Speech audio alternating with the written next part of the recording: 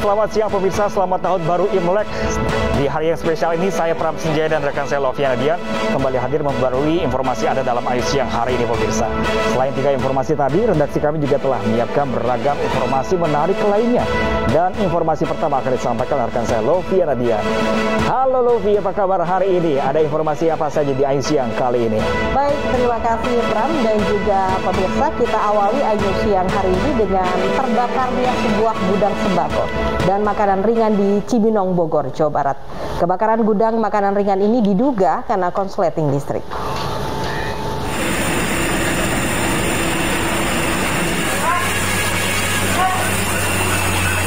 Api menghanguskan gudang sembako dan makanan ringan di Kelurahan Keradenan, Cibinong, Kabupaten Bogor malam tadi.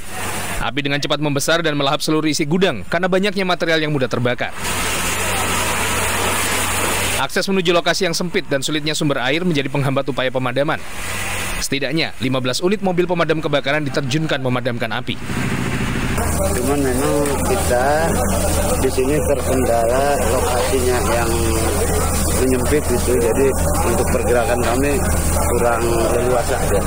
Boleh tahu ini gudang apa sih Pak? Hmm? Ini gudang apa sih Pak? Gudang apa? Hmm?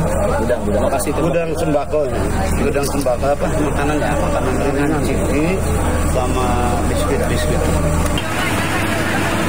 Diduga kebakaran dipicu korsleting listrik. Tidak ada korban dalam insiden ini dan kasus ini kini ditangani Polres Bogor.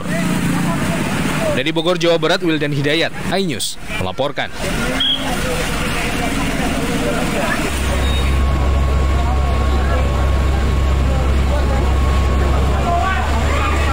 Kebakaran juga melanda ratusan bangunan semi permanen yang terdiri dari rumah kontrakan dan kios pedagang di Jalan Duri Kepamas, Kebon Jeruk, Jakarta Barat dini hari tadi.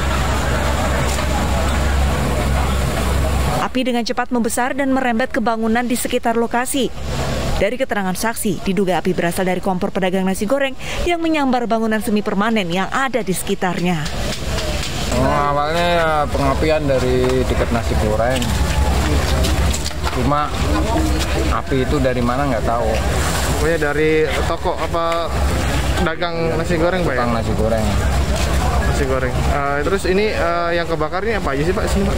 Ini yang kebakar, ini kontrakan-kontrakan semua. Sama kios gitu kali ya Pak? Ya, kontrakan, kios rokok, apa lapak.